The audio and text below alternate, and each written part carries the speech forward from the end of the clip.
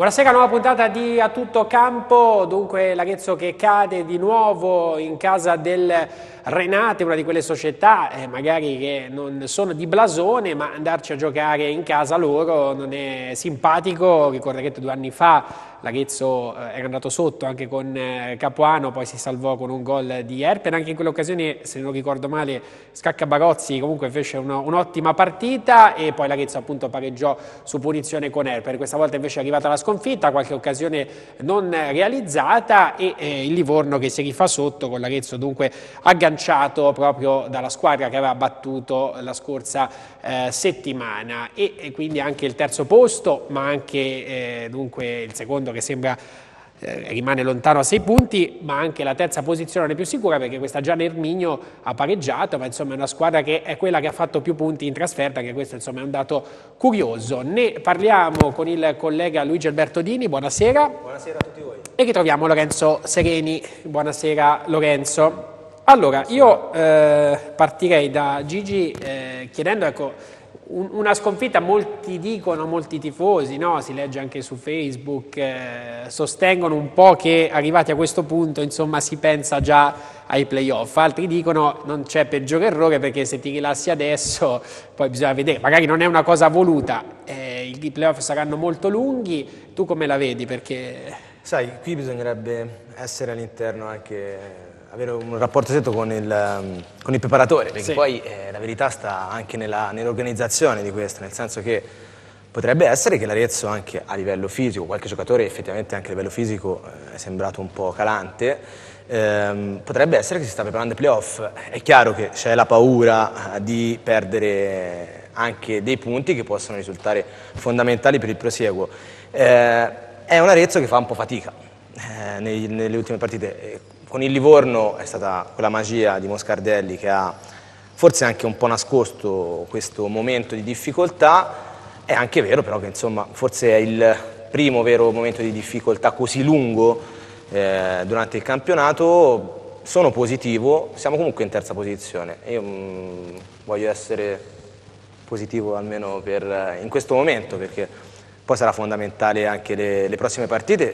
Pistoiese ehm, Piacenza, Piacenza, e, Ponte, e Pontedera, eh, sono partite importanti, tra l'altro in pochissimo tempo perché con il, se non sbaglio con il Pontedera in casa sarà infrasettimanale, quindi sì, 4 giorni dopo, 3-4 giorni dopo. Sì. Eh, anche lì il ricambio degli, degli, uomini sarà importante se non fondamentale.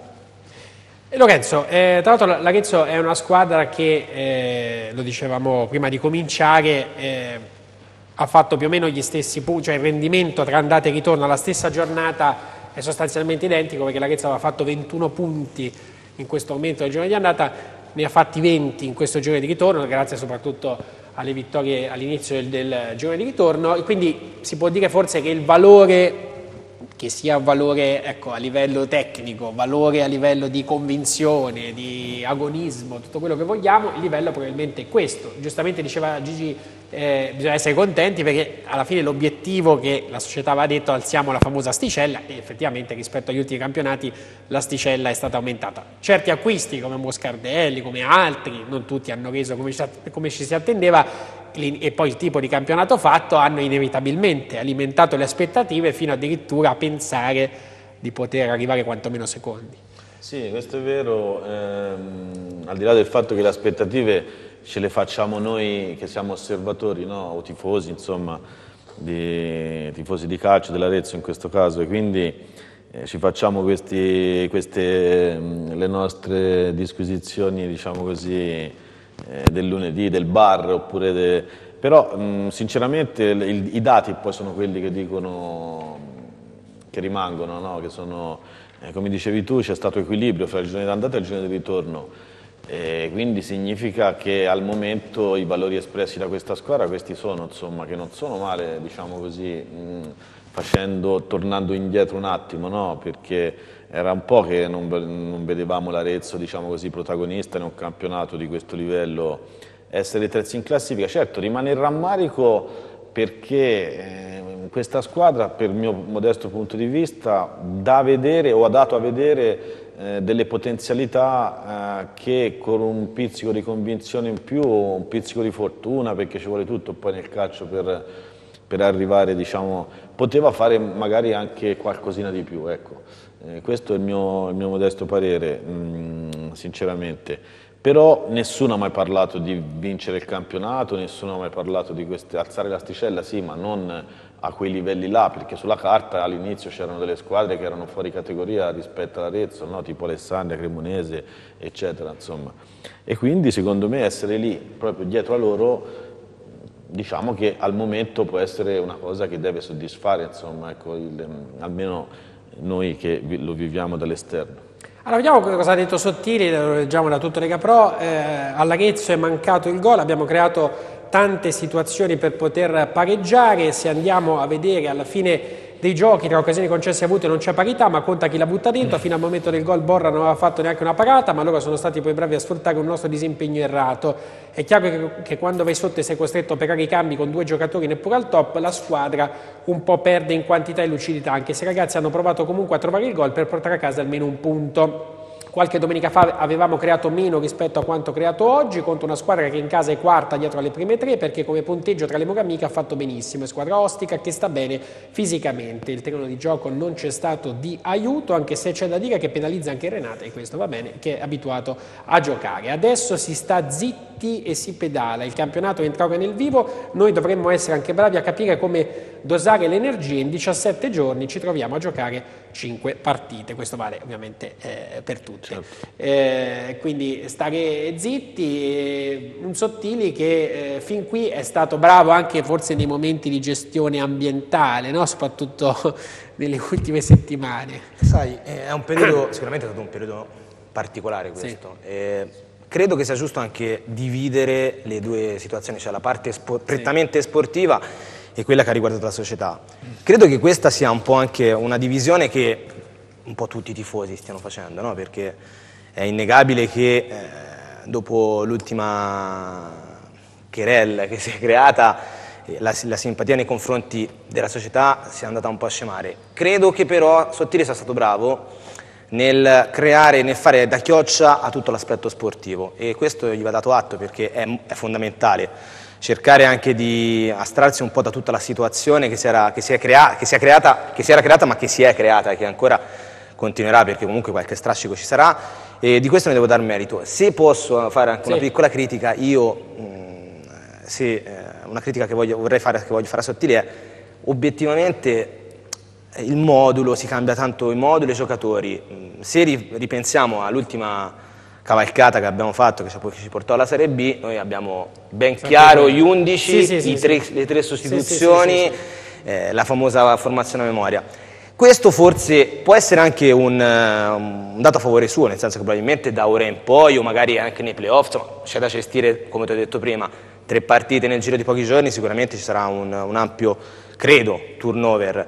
Eh, però ecco, forse fino a questo momento è stato bravo a eh, tirar fuori dalle, delle situazioni difficili e sottili, però se dovessi dare, dire, parlare mh, nei prossimi anni di un'impronta fino a questo momento che è chiara che l'Arezzo ha, farei, fa, farei, e faccio un po' di fatica, questo sì. Sono d'accordo con te anche all'inizio, del, cioè anche della parte iniziale, perché non a caso poi l'Arezzo ha cambiato più di mezza difesa. Ha trovato la quadratura. Trovato, eh. Aveva trovato la quadratura a 4, adesso a 3, col fatto che Luciani si è fatto male. Vediamo un attimo lo schema che eh, ha schierato Sottili a me da, con, il, con, il, Renate, c'è questo infortunio di Luciani e eh, Sottili ha insistito con la difesa a tre, eh, ripescando Muscat che comunque ha fatto abbastanza, abbastanza bene fino a questo momento, eh, però certamente questo cambio di modulo, forse obbligato, forse si poteva trovare un'altra soluzione, è arrivato dopo che l'Arezzo invece aveva schierato la stessa formazione, nel infatti era arrivato poi, le grandi vittorie erano arrivate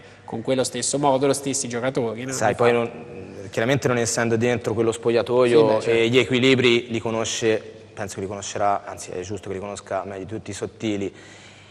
È chiaro che io ad esempio Yanga come eh, quinto di, di, destra fare tutta la fascia lo vedo un po' sacrificato, poi sicuramente colpa anche sua di non aver eh, dato quello che poteva, però è un giocatore prettamente offensivo, se si deve occupare anche della fascia eh, difensiva un po', è un po' sacrificato, Altro conto quando c'è Sabatino magari sulla sinistra, quindi non è un 3-5-2 ma eh, probabilmente è un, eh, un 4-3-1-2 mascherato, insomma credo che questo anche, possa fare la differenza, eh, non lo so. Diciamo Sentiamo che avere una eh. formazione continua sì, sì, no, no. ti crea problemi con, alt- con i giocatori che magari non fanno parte esplicitamente dei 11-14, però ti dà la possibilità di avere un'idea ben chiara e di andare anche con alcuni automatismi. Perché infatti Lorenzo all'inizio stagione, poi, eh, prima che poi ci fosse la, la cessione dei, dei appunto, difensori che, che, sono stati ceduti, tra cui Sirri, eh, la difesa è cambiata varie volte con i protagonisti, fino a trovare poi Insolini e in Barison adesso i, i due titolari quando insomma, erano a quattro ma giocano anche con la difesa 3. Quindi queste modifiche, poi l'allenatore è nuovo, ovviamente ci vuole anche tempo per fare questi, questi esperimenti, eh, secondo te questo può avere un po' eh, rallentato in certe fasi il cammino dell'Arezzo? Ma eh, ovviamente io credo che mm, un gruppo funziona meglio quando più, più certezze gli dai e più ovviamente funziona meglio. È chiaro che gestire, come diceva Luigi prima, eh, un gruppo eh, tenendo una formazione diciamo, base eh, e, cambiare, e variare molto poco, è chiaro che diventa più, più, difficile la gestione di chi sta fuori, di chi gioca meno. Ovviamente, però d'altronde eh, nel calcio le gerarchie io vedo che quando ci sono le partite importanti le grandi squadre giocano sempre quelli, giocano i più bravi, giocano, cioè, non è che è fatto, è fatto così.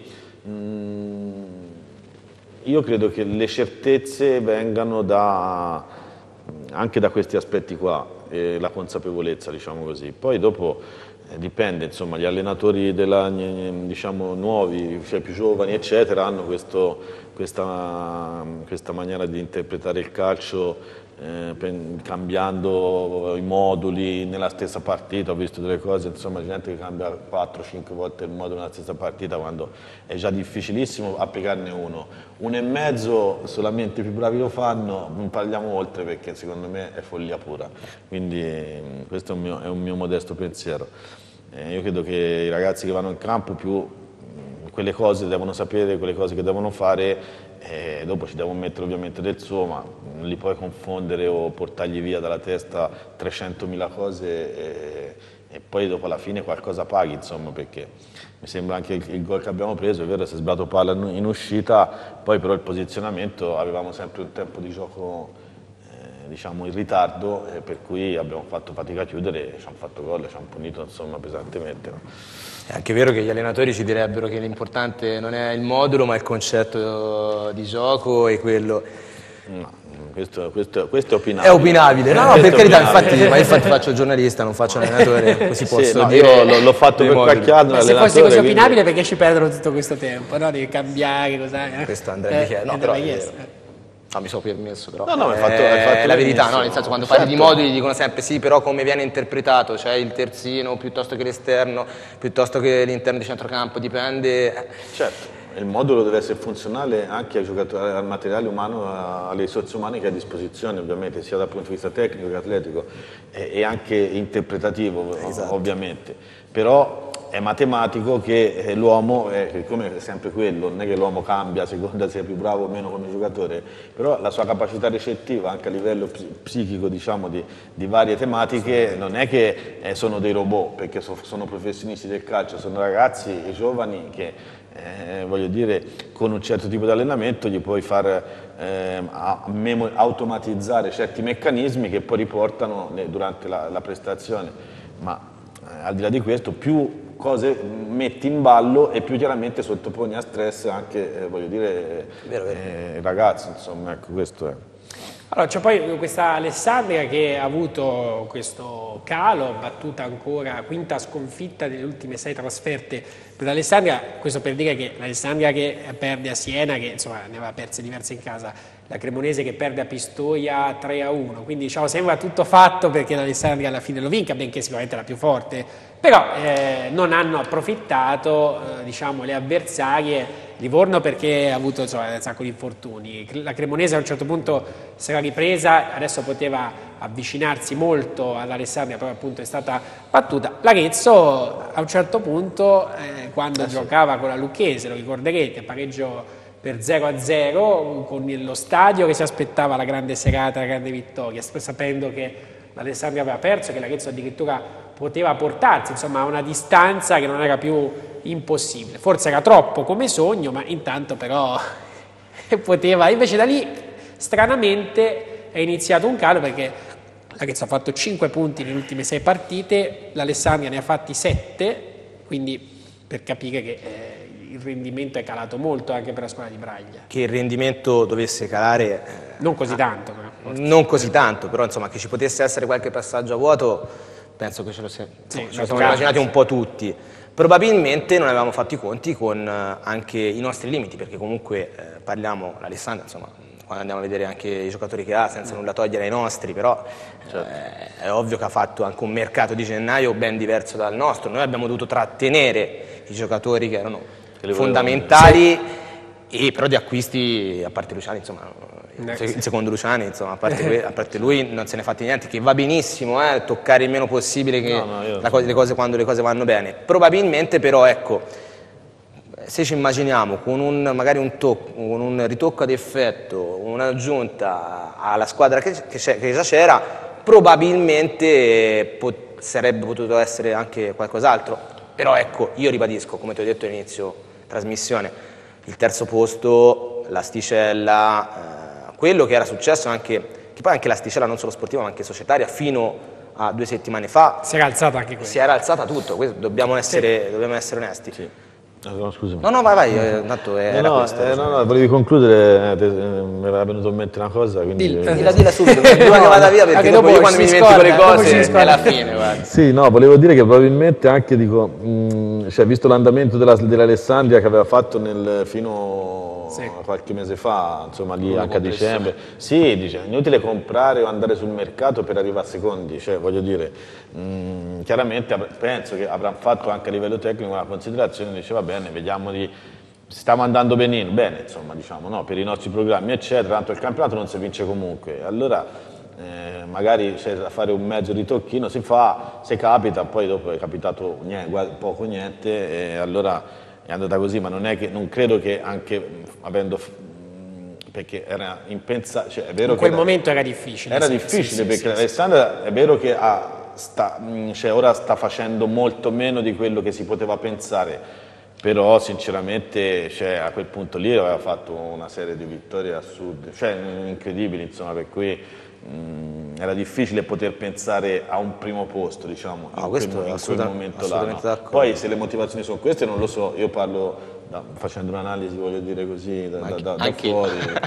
Poi comunque molti l'avevano previsto perché le squadre di Braglia eh, sì. tendenzialmente hanno dei cali clamorosi. Nel, questo è sempre stato un C'è del nervosismo perché è stato espulso anche sabato sera. E, insomma, la squadra sembra una squadra che, come dicono molti, è più adatta alla Serie B che che sai c'è questi luoghi no, comuni, no, io non lo so poi se è vero, ho sentito dire da tantissimi, eh, dico, ma dalla terza categoria sì, sì, quando uno giocano male, questi giocano meglio nella categoria adesso, poi vanno sopra fanno 4 E sono quelle leggende metropolitane, effettivamente hanno questo tic tac che però è poco concreto in certe partite. Ma è chiaro che chi ha dei valori tecnici importanti eh, alzando il livello eh, è probabile che eh, nello scontro fisico un po' sì. minore, se, poi, se dobbiamo pensare questo della Serie B, probabilmente gli dobbiamo dare ragione. Però ecco, diciamo che tenderei anche a trovare altre motivazioni. Lo sai, mi è venuto in mente, sì. quando abbiamo parlato di rullo compressore Alessandra, non perderà mai il passo, forse abbiamo anche avuto il retaggio di quella pistoiese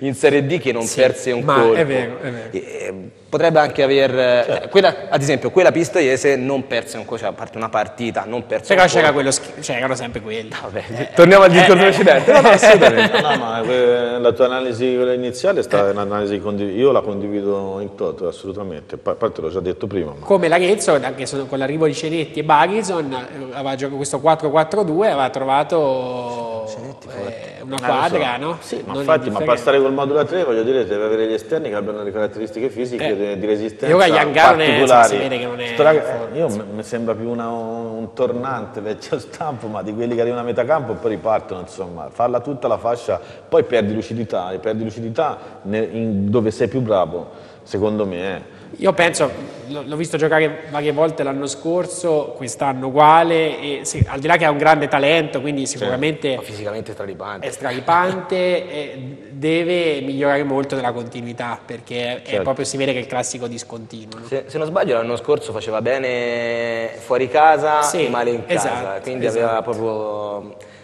per carità, è veramente cioè, fisicamente. Cioè, serata è devastante. No, no, è eh, fantastico. Non è da, serie, non è da, da no, Lega Pro, no, no, non è da serata. Cenette, però hai detto Cenette, sì. a me è un giocatore che piace tantissimo e lo vorrei forse vedere ancora di più, eh? dico la verità. Sì. Perché... Infatti non si è capito perché nelle ultime partite. Non lo so.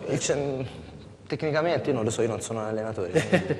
no. Cioè, no, no, dicevo, mi riferivo, ora volevo fare un, un, paragone perché dico se Allegri è riuscito a fare, fare a quadrato la, tutta la fascia quando giocava la difesa potrebbe riuscirci anche. Poi, poi riuscirci anche sotto lì con, con gli Angano perché è un momento anche di crescita te, verso il ragazzo, capito? Non è mica detto se lui ce lo sta provando eccetera probabilmente eh, beh, ha dei parametri eh, che, che, lo può fare, eh, poi è sempre il campo che lo, che lo, dici, che lo decide, che decide se è o non è. Ecco, tutto qua. Allora, tra poco, eh, quando rientreremo da pubblicità, eh, proveremo a sentire un ex allenatore dell'Arezzo, eh, Fabio Fraschetti, allenatore giovanile dell'Arezzo, allenò anche per qualche giornata la prima squadra è attualmente fermo, dopo credo l'esperienza a Cuneo, e, però insomma, eh, ovviamente segue un po' la, tutta la Lega Pro, quindi sentiremo da lui insomma, che, che giudizi dà anche di questo girone. Ci vediamo tra poco. Bentornati, seconda parte di A Tutto Campo. Allora, eh, mentre tra poco tentiamo di allestire questo collegamento telefonico, Volevo tornare invece su, con Lorenzo no, sulla vicenda societaria, se eh, al di là che adesso sembra tutto diciamo, tornato come prima, eh, se può avere avuto un impatto eh, anche involontariamente su, sull'ambiente, quindi i tifosi ovviamente, come diceva prima Gigi, eh, hanno di nuovo questa vicenda alimentato dei dubbi, no? Eh, c'è diciamo, la fiducia, come hanno scritto anche gli ultra, sia un po' scemata nei confronti della presidenza, che quindi dovrà riconquistarsela. Eh, la squadra pensi che ecco, sia rimasta avulsa da questa, credo abbiamo già la telefonata però, saluto Fabio Fraschetti, benvenuto. Pronto? Buonasera Fabio. Sì, buonasera a voi. Grazie, grazie di essere un piacere risentirti. Io credo che eh, Fabio Fraschetti sia stato uno dei migliori allenatori che l'Arezzo ha avuto a livello giovanile. Peccato non averti, non, che tu non hai avuto tempo ovviamente per far vedere le tue doti anche con la prima squadra, ma insomma hai lasciato sicuramente un buon ricordo.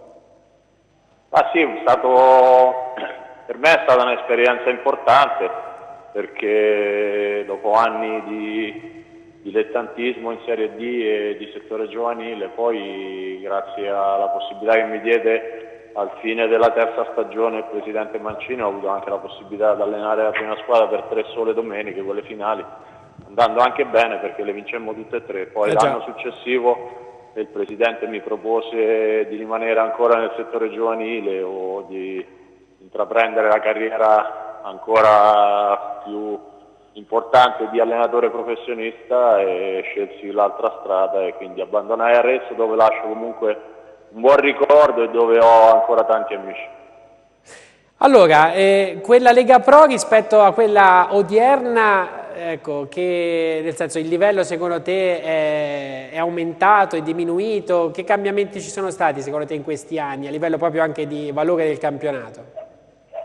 Secondo me in generale un pochino si è abbassato il livello, non fosse altro per il fatto che molte società adesso anche per far eh, quadrare i bilanci si affidano molto di più rispetto a prima ai settori giovanili.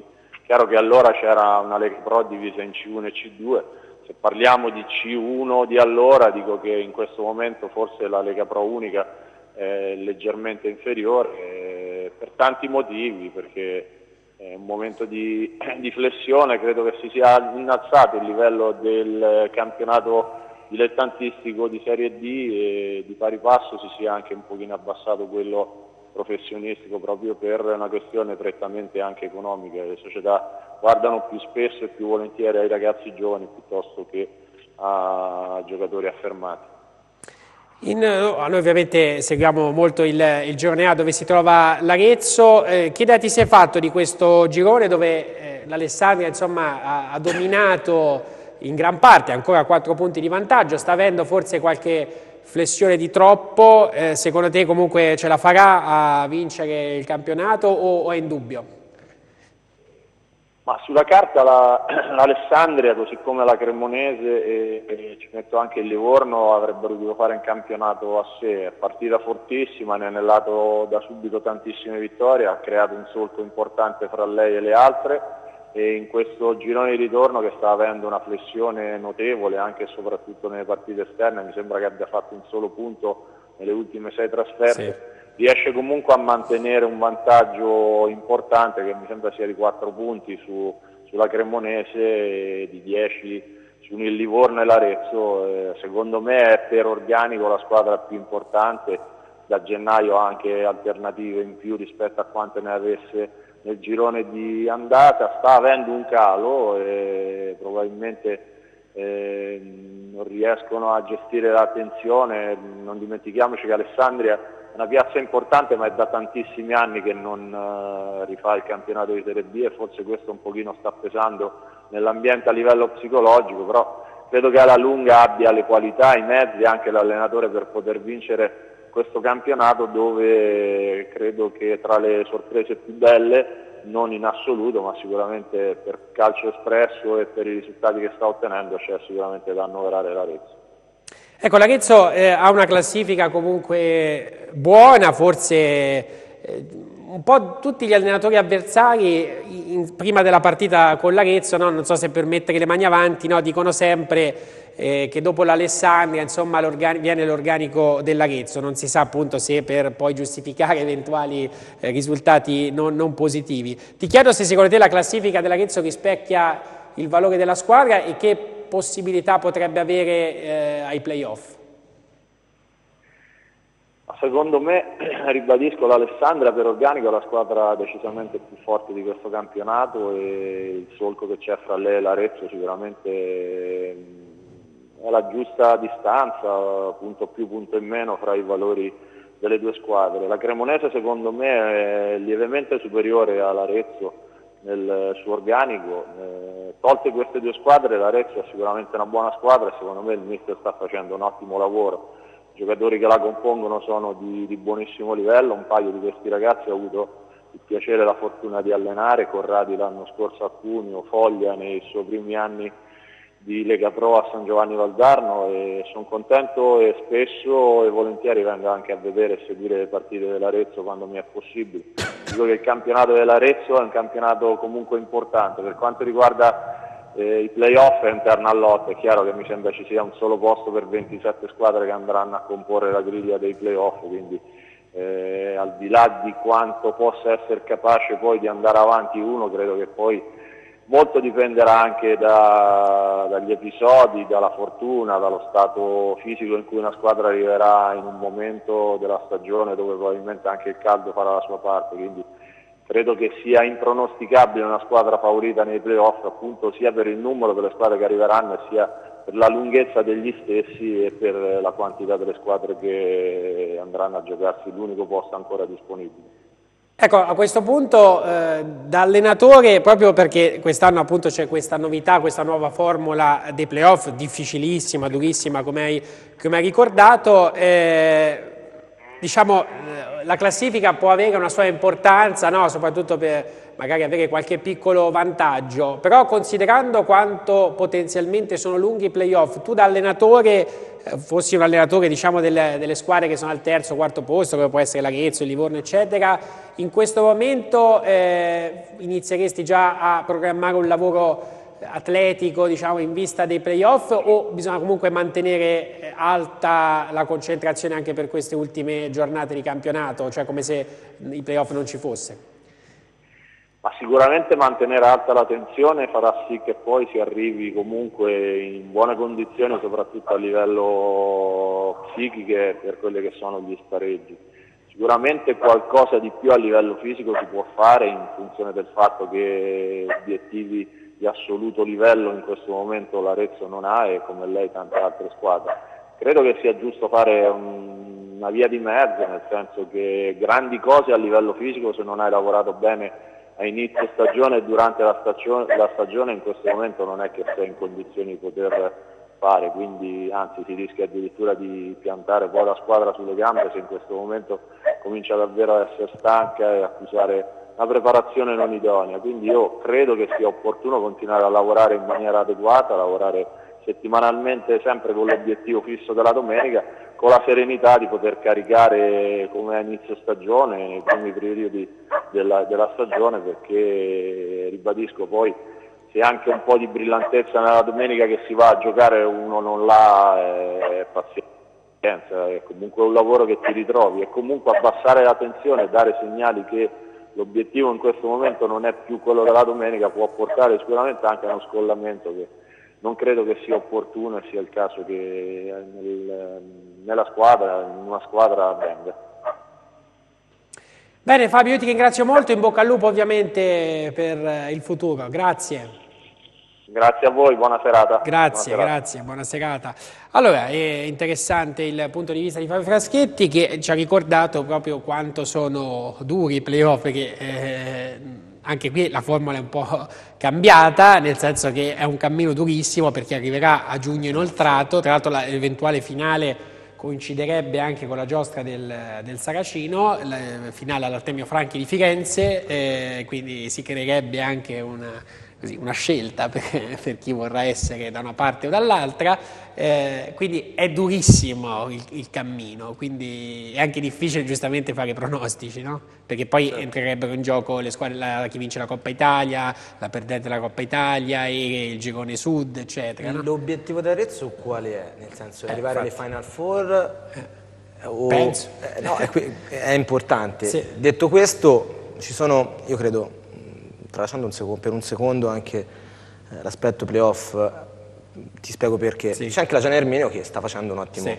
campionato. La ha una, ha una, è una società molto particolare, nel senso che cura molto il settore giovanile, se ne, parlava, sì. se ne ha parlato anche prima con Fraschetti. Eh, io penso che ognuno di noi, da tifoso e da giornalista, so, da chi vuole bene all'Arezzo, dovrebbe un attimino pensare quale sia la sua squadra ideale, cioè l'Arezzo come eh, più come Gianni Ermini oppure con qualcuno che mh, di volta in decennio in decennio ti fa vedere magari anche della Serie B, però poi probabilmente non riesce a mantenerla. Ecco, secondo me dobbiamo anche un attimino ragionare tra di noi su quale qual è l'idea di società che abbiamo, perché ora stiamo andando verso una direzione ben precisa, si sta partendo dalla Serie A, ma credo che prima o poi anche qualcuno eh, se ne dovrà occupare a livello anche di, di, di Ministero nazionale, insomma. Eh, ecco, io personalmente, scusatemi questa piccola digressione, ma eh, proprio avendo studiato la storia della Gianni Erminio, che è un po' simile a quella che poi è l'Empoli, e quindi probabilmente una avere una squadra più normalizzata in, su questo aspetto qua mi, mi intrigherebbe molto di più anche con eh, un sali-scendi molto minore, perché eh, a me io se ho una preoccupazione è questa, nel senso che ok, quest'anno stiamo facendo un campionato di alta classifica, andremo ai playoff, sono sicuro che faremo bella figura, ci vuole anche quella dose di fortuna necessaria per arrivare in fondo, però il prossimo anno cosa succede? È vero che alcuni giocatori hanno un biennale, però ecco, secondo me eh, è importante che l'Arezzo continui sempre che, che, tiri fuori anche dei giocatori interessanti, perché poi eh, li vediamo alcuni giocatori che sono passati, sono di Arezzo, sono passati da Arezzo ma poi sono esplosi da altre parti. Non lo so, mh, mm, questa è una piccola provocazione sì, sì, che, vi, che vi, mando, però eh, ecco, io personalmente preferirei forse più uno stile alla Gianni Erminio e faccio l'esempio da Gianni Erminio perché eh, anche meno storia di, ovviamente ha meno storia di noi, però ha un modello che è molto interessante perché andare ai playoff poi c'è l'allenatore che quanti sono? 25 anni che allena Cesare Albè no? che esatto. 25 anni che allena questa poi per carità queste sono, eh, sono, sono, particolarità eh, non, sì sì no no per carità però, però eh, eh, tra l'altro se ci fate vedere questa grafica che lo, lo ricordavamo prima dei punti in casa e punti in trasferta C'ha giocatori anche come Pinardi, no? C'ha giocatori... Sì. Però è un modello, ci sono dei giocatori che sono lì da 6, 7, 8 anni diversi, eh, che, sono, che, sono, proprio il tessuto della, della squadra E guardate però che eh, ormai sono insomma, qualche campionato che fanno la Lega Pro e eh, insomma, essere la squadra che ha fatto più punti in trasferta, ben 29, cioè quindi viene prima della Cremonese che ne ha fatti 27, l'Alessandria 23, Livorno e Piacenza 22, il Como 21,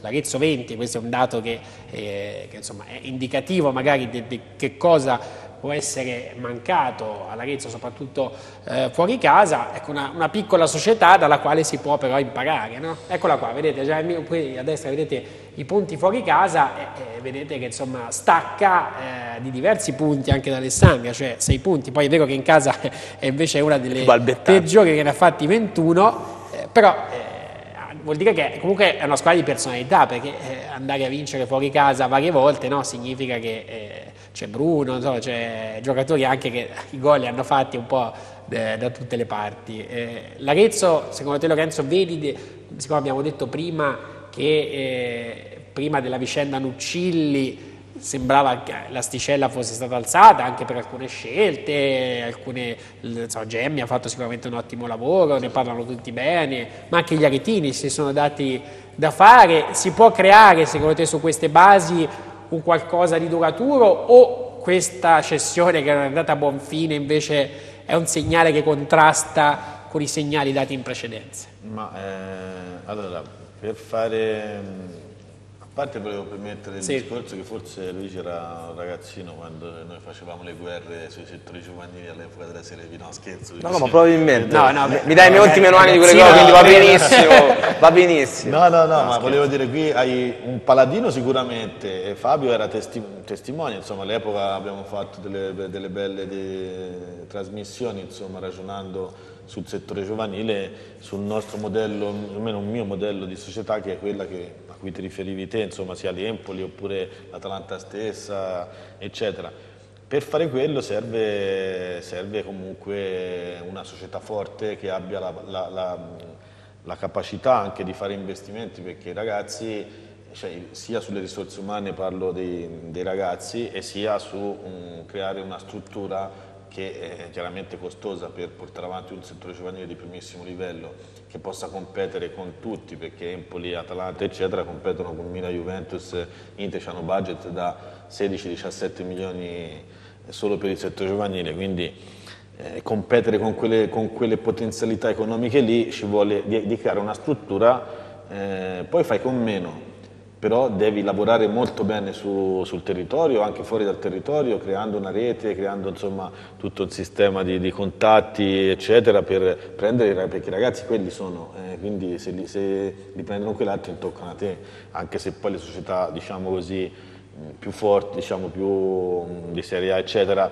parlo di Juventus, Milan, così preferiscono magari prendere il più forte dell'Empoli o il più forte, del... però non, è, non, sempre poi questo porta al risultato che vince. No, ma assolutamente. Capito? Perché eh, alla fine poi vincono sempre o, o, o tocca il Chievo, perché hanno, se, lavorano bene. Però la formazione è importantissima, no? Cioè, è determinante la eh, formazione. io mi ricordo, ero un calciatore molto molto modesto, aiutatemi, molto molto molto modesto, giocavo nel Subiano e nelle giovanili eh, eh, diciamo che l'obiettivo era andare a giocare nell'Arezzo per tante motivazioni, cioè era proprio era un primo step che chiunque dei certo. miei compagni di squadra voleva fare perché poi ci giocavamo contro e ne prendevamo 5-6 insomma eh, manca un po' questo sogno secondo me in questo momento è stato, si, è stato fatto un percorso però il sogno anche de, del bambino del, sì. del ragazzo che abbia voglia anche di dimostrare perché eh, come ti dicevo, è formazione continua. Il calcio preso nel, nel, verso giusto credo che sia veramente una grande scuola di vita,